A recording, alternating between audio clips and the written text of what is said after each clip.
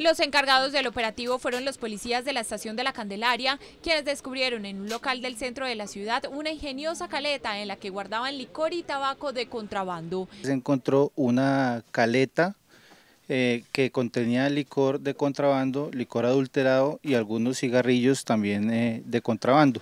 Según las autoridades, nunca habían encontrado una caleta de estas características, dificultaba el hallazgo del licor. Esa caleta tenía esas, esas guayas ahí que se alan y tan pronto se alan esas guayas se abre la pared del fondo en donde encontraron todo el, material que se incautó. Eran 22 unidades de contrabando y 1.070 unidades eh, de licor adulterado.